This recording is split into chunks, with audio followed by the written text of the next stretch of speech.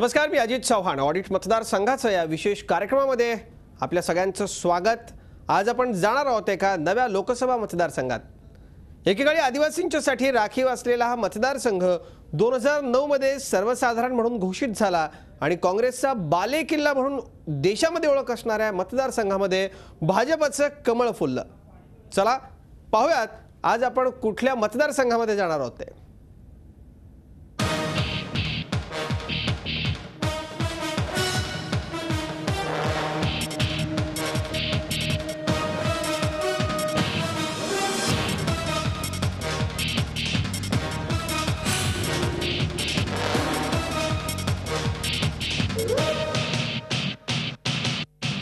आपण आता आहोत खानदेशातील धुळे जिल्ह्यात.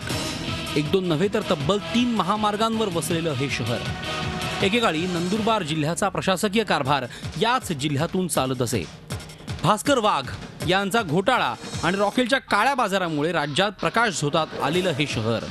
अहिराणीचा गोडवा आणि शासकीय अधिकाऱ्यांचे देखणे बंगले यासाठी प्रसिद्ध असलेलं धुळे शहर पांझरा नदीच्या काठावर वसलं आहे स्वातंत्र्यापूर्वीच सुनियोजित वाहतूक आणि शहर वास्तू नियोजन असलेलं हे छोटे खानी शहर. एकविरा आणि बिजासनी देवी या भागातील प्रमुख कुलदैवत. नाशिक विभागातील एकमेव शासकीय वैद्यकीय महाविद्यालय आणि शासकीय कृषी महाविद्यालय सध्या याच शहरात आहे. शहरातल्या अनेक पाऊलखुणा जोपासणारे राजवाडे वस्तुसंग्रहालय आणि समर्थ वाग्देवता मंदिर ही धुळ्याची ओळख. नुकतंच उद्घाटन झालेल्या देशातील सर्वात मोठ्या सोलर वीज निर्मिती प्रकल्पाच्या रूपाने धुळ्याला आधुनिक ओळख मिळाली आहे. या मतदारसंघात औद्योगिक वसाहत आहे पण ती नसल्यासारखीच. कुठलाही मोठा उद्योग नसल्यानं रोजगारासाठी पदवीधर तरुण नाशिक मुंबईचा रस्ता धरतात. मुबलक प्रमाणामध्ये जमीन उपलब्ध आहे पाणी भरपूर आहे. आता तर टापीवर बॅरेज झाल्यामुळे भरपूर पाणी उपलब्ध आहे. या ठिकाणी इतक्या वर्षात एकही नवा उद्योजक किंवा उद्योग डेव्हलप झाले नसल्यामुळे तरुण वर्गांचा जो एक भरणा आहे की जे सुशिक्षित बेरोजगार म्हणून आज आपल्याला मोठ्या संख्येने दिसतात ते असो किंवा अनस्किल वर्क असो वर्कर्स असो की एक मजुरांचा फार मोठी ता संख्या या ठिकाणी आहे. म्हणजे पाणी मजूर जागा सगळं उपलब्ध असतानाही इथे विकास होऊ शकत नाही. याचं एकमेव कारण म्हणजे विकासाचं व्हिजन इथल्या कुठल्याही प्रतिनिधींना नाही. धुळे शहराची अर्थव्यवस्था चाकरमाने आणि व्यापारावर आधारित आहे. इथं मोठे उद्योग अगदी बोटावर मोजण्या इतकेच आहेत. जिल्ह्यात पडणारा पावसाचा प्रत्येक थेंब अडवला गेलाय. मात्र नियोजनाच्या अभावामुळे धुळे जिल्ह्यात मोठ्या प्रमाणावर कोरडवाहू शेती केली जाते. बागायती शेतीचं प्रमाण फक्त अठराशे तेरा हेक्टर पुरतं मर्यादित आहे. राज्यस्तरीय जे राजकारण आहे आणि तिथे जे वजन यांचं निर्माण व्हायला पाहिजे की त्या वदामुळे निधी मिळतो. त्या भागाला. योजना येतात त्या राबवल्या जातात चांगले अधिकारी येतात. तर तसं काही धुळे जिल्ह्यात घडत नाही. जे अधिकारी अकार्यक्षम आहेत भ्रष्ट आहेत असल्याच अधिकाऱ्यांना इथे पाठवलं जातं. आणि त्यांना इथल्या काही स्थानिक राजकीय नेत्यांकडून संरक्षणे मिळतात. त्याच्यामुळे इथे गैरकारभार जास्त आणि कारभार कमी. दोन हजार नऊमध्ये पंधरा लाख पंच्याहत्तर हजार दोनशे पंचवीस मतदार धुळ्यात होते. त्यात आठ लाख आठ हजार तीनशे दोन पुरुष तर सात लाख सहासष्ट हजार नऊशे तेवीस महिला मतदार होते. एकोणीसशे एक्क्याण्णव पर्यंत या मतदारसंघात काँग्रेसचं वर्चस्व राहिलं. त्यानंतर कधी काँग्रेस कधी भाजप असा लपंडाव होता एकोणीसशे शहाण्णवमध्ये साहेबराव बागुल यांच्या रूपानं पहिल्यांदाच धुळे लोकसभा मतदारसंघातून भाजपचा खासदार लोकसभेत गेला. तर एकोणीसशे अठ्ठ्याण्णवमध्ये डी एस अहिरे यांनी पुन्हा काँग्रेसला ही जागा मिळवून दिली. त्यानंतर एकोणीसशे नव्याण्णवला भाजपचे रामदास गावित तर दोन हजार चारमध्ये काँग्रेसचे बाप गेल्या निवडणुकीपासून नाशिक जिल्ह्याचा काही भाग आणि धुळे जिल्ह्याचा काही भाग असं मिळून जो नवीन मतदारसंघ झाला त्यात भारतीय जनता पक्षाचे प्रतापदादा सोनवणे हे निवडून आले. हा एक चमत्कारच होता त्यावेळेस. परंतु मालेगावसारख्या मुस्लिम बहुल भागामधून मुस्लिम उमेदवार राहिल्यामुळे यांना फायदा झाला भारतीय जनता पक्षाचे प्रतापदादा सोनवणे. मध्य प्रदेशच्या सीमेवर असलेल्या या शहरातील राजकीय वातावरण आता तापू लागलंय. लोकसभा निवडणुकीत युतीला साथ देण्याची मानसिकता आणि काँग्रेसमधील गटबाजीची परंपरा यंदा खंडित होणार का हा सध्या इथला चर्चेचा विषय आहे. Yogesh खरेसह Prashant Pardeshi Zee media Dhule. Civil engineering केल्यानंतर नाशिकच्या शिक्षक मतदारसंघातून एकोणीसशे अठ्ठ्याण्णव ते दोन हजार नऊपर्यंत आत्ता इथल्या जे खासदार होते त्यांना त्यावेळेला आमदारकी मिळाली. त्यानंतर पक्षानं खासदारकीसाठी दाखवलेला विश्वास त्यांनी पहिल्याच प्रयत्नात सार्थ केला. चला धुळे लोकसभा मतदारसंघाच्या या खासदाराची आपण ओळख करून घेऊयात. नाव प्रतापदादा सोनावणे. जन्म बावीस डिसेंबर एकोणीसशे अठ्ठेचाळीस. वय चौसष्ट वर्ष. शिक्षण बी सिव्हिल. नाशिक शहरातील मानूर या गावात जन्मलेले प्रतापदादा सोनावणे नाशिक शहरातील गजबजलेल्या व्यापारी वस्तीत म्हणजेच कॉलेज रोड परिसरात राहतात. विशेष म्हणजे नाशिकमध्ये राहूनच ते धुळ्याचा कारभार हाकतात. कारण आज ते धुळे लोकसभा मतदारसंघाचे खासदार आहेत. मराठा समाजाचे सोनवणे एकोणीसशे अठ्ठ्याण्णव ते दोन हजार नऊ पर्यंत नाशिक शिक्षक मतदारसंघातून आमदार झाले.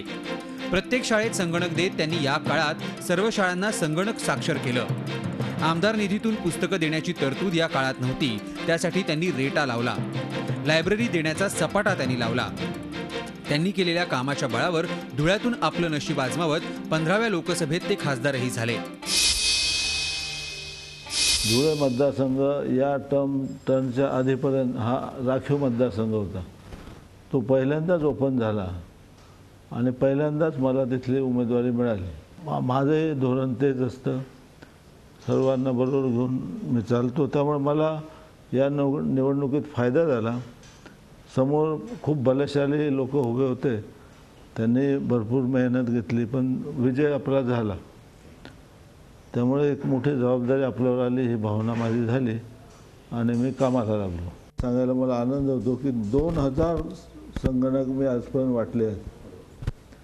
आणि दुसरं प्राधान्य दिलं ग्रंथांना. जे वाचनालय मागेल किंवा जे वाचनालय त्यांना ग्रंथ द्यायचे फर्निचर द्यायचं आणि ग्रंथालय बांधूनसुद्धा द्यायचं काही सुमारे पाचशे वाचनालयांना मी अशी मदत केली. राजकारण आलं की हितशत्रू निर्माण होतात. मात्र प्रताप सोनावणे हे अजातशत्रू आहेत. सर्वच पक्षात त्यांचे मित्र आहेत. पण लोकसभेतील कामगिरी फारशी उल्लेखनीय राहिलेली नाही. साठीच्या वयात गेल्या लोकसभा निवडणुकीत त्यांनी वीस हजाराचं मताधिक्य मिळवत धुळ्यातून विजय मिळवला. शिरपूरचे काँग्रेसचे धनाढ्य आणि मातब्बर उमेदवार अमरीशभाई पटेल यांना त्यांनी धूळ चारली गेल्या तीन वर्षापासून राजकारणात असूनही सोनावणे यांच्यावर कोणताही गुन्हा आजपर्यंत दाखल झालेला नाहीये. खासदार सोनावणेंची एकूण मालमत्ता चौदा कोटी एकवीस लाख सत्तावन्न हजार रुपयांची आहे. यापैकी सहा कोटी बेचाळीस लाख त्रेपन्न हजार रुपये स्थावर मालमत्ता आहे. सात कोटी एकोणऐंशी लाख रुपयांची जंगम मालमत्ता आहे. लोकसभा निवडणुकीसाठी अवघे काही महिने शिल्लक असताना सोनावणे यांनी आजारपणावर मात करत पुन्हा जोमानं काम करायला सुरुवात केली आहे. मात्र गेलेली चार वर्ष कशी भरून निघतील आणि मतदारांना किती आपलेसे ते करू शकतील हे येणारा काळच ठरवेल. योगेश खरेसह प्रशांत परदेशी झी मीडिया धुळे. अनेक समस्यांनी ग्रासलेल्या धुळे लोकसभा मतदारसंघातल्या समस्या नेमक्या कोणकोणत्या आहेत त्याचा वेध घेणारा हा रिपोर्ट पाहूया राष्ट्रीय महामार्गावर असलेली धुळे नगरी सध्या नागरी समस्यांच्या विळख्यात सापडली आहे. कचरा उचलण्यापासून ते रस्त्यावरील खड्ड्यांपर्यंत पिण्याच्या पाण्यापासून ते अनधिकृत लेआउटपर्यंत अनेक समस्या धुळ्याच्या मतदारांना भेडसावत आहेत. एकेकाळी धुळे सुनियोजित शहर म्हणून प्रसिद्ध होतं. गल्ल्या गल्ल्यांच्या शहराची मात्र आता पार दुरवस्था तर वाहतुकीची कोंडी झाली आहे. गेल्या खासदारांनी आतापर्यंत धुळ्यामध्ये काही लक्षात येण्यासारखे काम केलेच नाही. आणि कधीही जाणवलं नाही की अ, धुळ्याचे खासदार प्रतापदादा सोनवणे. आजपर्यंत धुळ्याच्या खासदारांनी गेल्या चार वर्षामध्ये धुळ्यासाठी काय काम केलं ते जर समजा आपण धुळ्यामध्ये गल्लोगल्ली जर समजा फिरलो किंवा मोठमोठ्या रस्त्यावरून फिरलो आपण त्याच्यावरून सुद्धा समजून येईल त्या धुळ्याची परिस्थिती किती बिकट झालेली आहे. धुळे शहरातील महापालिकेचे तीन तेरा वाजलेत कुठलाही विकास नाही. केंद्र सरकारच्या माध्यमातून कुठलाही मोठा उपक्रम नाही. ग्रामीण भागात शिरपूर शहरानं पटेलांच्या बळावर चांगला विकास साधलाय. विमानतळ शिक्षण संस्था गोल्ड रिफायनरी तसंच एव्हिएशन कॉलेजही इथं आहे. मात्र हा विकास शिरपूर पुरताच मर्यादित असून उर्वरित धुळे मतदारसंघ विकासापासून खूप लांब आहे. गेली पाच वर्ष त्या भागाचे लोकप्रतिनिधी म्हणून तिथला प्रश्न असेल तर मालकांचा प्रश्न असेल इतर सा काही सामाजिक जे प्रश्न असतील मला वाटतं प्रतापदादांना लोकसभेमध्ये आपला पाहिजे असा प्रभाव त्या ठिकाणी पाडता आलेला नाही ते मितभाषी आहे. परंतु खासदार म्हणून किंवा लोकप्रतिनिधी म्हणून मग केंद्राच्या काही ज्या योजना आहे त्या योजना विरोधी पक्षात जरी आपण असलो तरी त्या ठिकाणी त्या योजना आणण्याचं काम मला वाटतं लोकप्रतिनिधी या नात्याने त्यांनी करायला पाहिजे होतं. ते के केलेलं नाही. मुंबई ते नाशिक चौपदरीकरणाचं काम मंजूर झालं तेव्हा हाच मार्ग थेट शिरपूरपर्यंत गेला. त्यामुळे वेगवान रस्ते आणि महामार्ग या शहराला मिळाले. मात्र या वेगवान रस्त्यानं मुंबई नाशिक सारखा विकास झालेला नाही. शहरातील भकासपणा वर्षानुवर्ष जैसे थेच आहे. ही फॅक्ट आहे की धुळे इतरांच्या तुलनेमध्ये विकासाच्या दृष्टिकोनातून मागे आहे. सगळ्यात महत्त्वाचं कारण दुर्दैवाने की इथल्या लोकप्रतिनिधींमध्ये मग ते कोणीही असो आत्ताचे विद्यमान असो यापूर्वी ज्यांनी चाळीस वर्ष सत्ता भोगली ते असो यांच्याकडे विकासाचं विजन नाही असं स्पष्ट म्हटलं पाहिजे. आजही धुळे रेल्वे स्टेशनमधून केवळ दोन गाड्या येतात. त्यातही एका गाडीला धुळ्याची बोगी जोडून धुळेकरांची बोळवण केली जाते. धुळे मनमाड नरडाणा इंदूर मार्गासाठी दरवर्षी मुद्दे समोर येतात मात्र अद्याप कुठलंही काम सुरू झालेलं नाही. नेहमी ते कागदपत्राच्या फायली सोबत घेऊन फिरत असतात मी हे केलं ते केलं असं बोलत असतात. परंतु कोणतंही भरीव कार्य केलं आहे असं किंवा ठळक काही का त्यांनी काम केलं असं कुठेही तिथे जाणवत नाही आहे त्यांनी त्यांच्या कारकिर्दीमध्ये मनमाड ते सुरत हा जो रेल्वे मार्ग आहे तो मंजुरीसाठी त्यांनी केलेलं काम हेच ते तेवढी त्यांची जमेची बाजू आहे. महामार्गावर असूनही धुळ्यात अद्याप मोठे उद्योग नाहीत. तापी पाटबंधारेचे मुख्य कार्यालय धुळ्यात आहे. मात्र त्याचा थेट फायदा धुळे शहराला मिळत नाही. सिंदखेड्याच्या डोळ्यासमोर पाणी आहे तरीही पाणी उपलब्ध नाही. विशेष म्हणजे उन्हाळ्यात शेवटी हे पाणी गुजरातला दिलं जातं पण शिंदखेड्याचा शेतकरी तहानलेलाच राहतो हीच या भागाची शोकांतिका आहे. धुळे हे दो तीन राष्ट्रीय महामार्गावर वसलेलं सगळ्यात महत्त्वाचं क्षेत्र आहे. या क्षेत्राच्या औद्योगिक विकासासाठी खासदारांनी जर ठरवलं असतं तर केंद्र शासनाच्या विविध पॅकेजद्वारे या क्षेत्राच्या विकासासाठी फार मोठं कार्य करता आलं असतं. सततचं आजारपण आणि लोकसंपर्काचा अभाव या दोन गोष्टींचा सर्वाधिक फटका धुळेकर जनतेला बसला आहे. खासदार असूनही नसल्यासारखी स्थिती इथे कायम राहिलेली आहे. त्याच्यामुळे विकासापासून हा जिल्हा आणि हा लोकसभा मतदारसंघ कोसो दूर गेला आहे. Prashant Pardeshi Zee media Dhule. खासदार प्रतापदादा सोनवणे कुठे पास झालेत आणि कुठे नापास? पाहूयात खासदार प्रतापदादा सोनवणे यांचं रिपोर्ट कार्ड ग्राफिक्सच्या माध्यमातून. पाहतो आपण शैक्षणिक संस्थांना त्यांनी मदत केली वाचन चळवळीसाठी प्रयत्न केले मनमाड इंदोर रेल्वे मार्गासाठी प्रयत्न केले सिंचनासाठी निधी वापरला मतदारसंघामध्ये रुग्णवाहिका वाटल्या. इथं पास झालेत खासदार सोनवणे मात्र जनतेशी संपर्क नाही आहे ते नाशिकला राहतात. एकही मोठा उपक्रम नाही महापालिकेचा विकास नाही. वाहतूक कोंडी सोडवण्यासाठी जे करायला हवं मतदारसंघात त्यांनी खासदार निधीतून पैसे द्यायला हवेत. ते दिलेले नाही आहेत आणि मतदारसंघात फिरकलेले नाही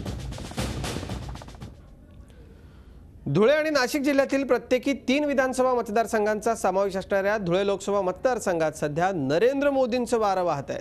पाहुयात आज आत्ता या स्थितीला नेमकी काय परिस्थिती आहे? राजकीय सद्यस्थिती काय आहे? गेल्या लोकसभा निवडणुकीत धुळ्यातून भाजपचे प्रतापदादा सोनावणे निवडून आले ते केवळ काँग्रेसमधील दुफळीमुळे. धुळे जिल्हा काँग्रेसमध्ये रोहिदास पाटील आणि शिरपूरचे अमरीश पटेल यांच्यातील वादाचा फायदा भाजपला मिळाला. मात्र यावेळेस चित्र वेगळं दिसतंय. बडोद्याचे माजी खासदार सत्यजित सिंह गायकवाड यांचं लक्षही या धुळे लोकसभा मतदारसंघावर आहे. पाटील आणि पटेल यांच्यातल्या वादात काँग्रेसकडून गायकवाड यांना उमेदवारी मिळू शकते. धुळे शहरामधून लोकसंग्राम पक्षाचे अनिल गोटे आमदार आहेत. तर धुळे ग्रामीणमध्ये सेनेचे प्राध्यापक शरद पाटील हे आमदार आहेत. सिंदखेड्यामध्ये भाजपचे जयकुमार रावळ मालेगाव मध्यमधून मालेगाव जनस्वराज्य पक्षाचे मौलाना मुफ्ती मोहम्मद तर मालेगाव बाह्यमधून सेनेचे दादा भुसे आणि बागलाणमधून भाजपचे उमाजी बोरसे आमदार आहेत. गेल्या वेळेस लोकसभेमध्ये काँग्रेसचा कॅन्डिडेट हा प्र प्रबळ दावेदार होता पण भाजपाचे प्रतापदादा सोनवणे त्याच्यात निवडून आले. ते निवडून येण्याचे एकमेव कारण ही काँग्रेसची अंतर्गत गडबाजी हे म्हटलं जातं उघडं आहे. यावेळेसही काही प्रमाणात ती गडबाजी आहे. परंतु आजही या लोकसभा मतदारसंघामध्ये काँग्रेसच्या वतीने दोन्ही माजी मंत्री जे आहेत जे सिनियर काँग्रेसमधले सिनियर लीडर आहेत जे रोहिदास या मतदारसंघात धुळ्यातील काँग्रेसची सारी भिस्त ही मुस्लिम मतदारांवर आहे. गेल्यावेळी या मतदारसंघात जनता दलाचे निहाल अहमद यांनी बहात्तर हजार मतं घेऊन भाजपच्या विजयाला हातभार लावला होता. मात्र आता नरेंद्र मोदी यांच्यामुळे मुस्लिम मतांचं ध्रुवीकरण झाल्यास मुस्लिम मतं काँग्रेसच्या पारड्यात पडणार आहेत. भाजपमध्ये विद्यमान खासदार सोनावणे यांच्याबद्दल पक्षांतर्गत असंतोष आहे. याचा फायदा काँग्रेसला होऊ शकतो. एकीकडे अनेक इच्छुकांमुळे काँग्रेसमध्ये अंतर्गत संघर्ष तर दुसरीकडे भाजपमध्ये सक्षम उमेदवार दिसत नाही नुकत्याच पार पडलेल्या निवडणुकीत जिल्हा परिषद आणि पंचायत समित्यांमध्ये काँग्रेस पक्षाने तर धुळे महापालिकेत राष्ट्रवादीने मुसंडी मारली. भाजपने योग्य आणि धडाडीचा उमेदवार दिल्यास मोदी लाटेत पुन्हा भाजपची नाव किनाऱ्याला लागू शकते. शक्य शक्यतांच्या गर्तेत मतांचं ध्रुवीकरण होऊन पुन्हा चमत्कार होऊ शकतो. एकंदरीत धुळे लोकसभेची जागा जिंकण्याची आघाडी आणि युतीला समसमान संधी आहे. योगेश खरेसह प्रशांत परदेशी झी मीडिया धुळे. हे होतं धुळे लोकसभा मतदारसंघाचं ऑडिट पुन्हा भेटूयात पुढच्या भागामध्ये. नमस्कार.